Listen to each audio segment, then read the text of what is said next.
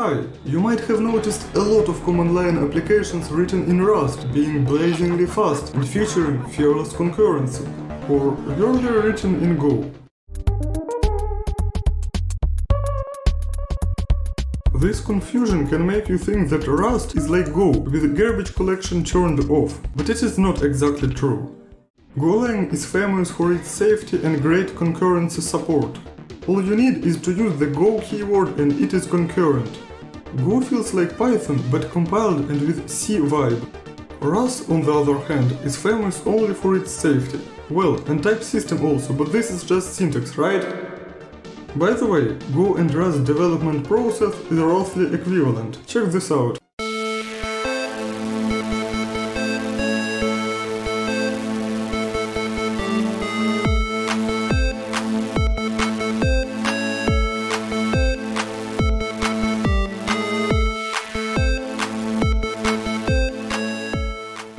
Notice the cargo tool. It creates the target directory, which is, you know, pretty chunky. Over time, it becomes even more thick than infamous node modules.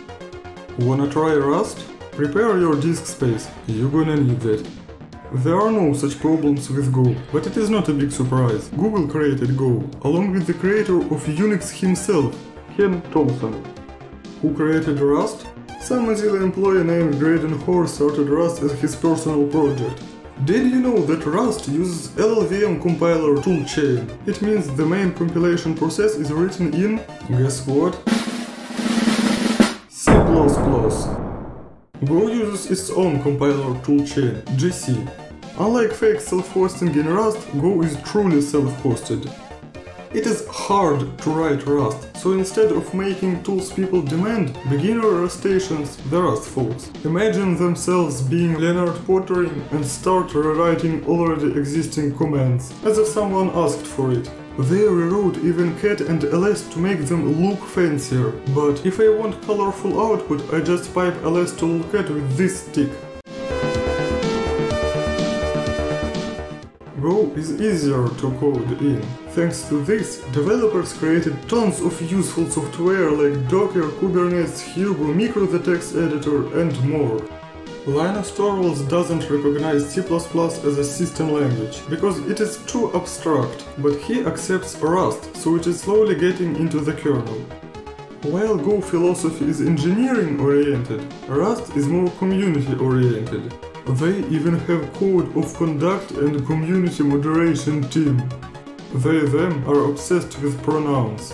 This results in enormous amount of gay people, non-binary person, transgender furries and others in the community. Just saying.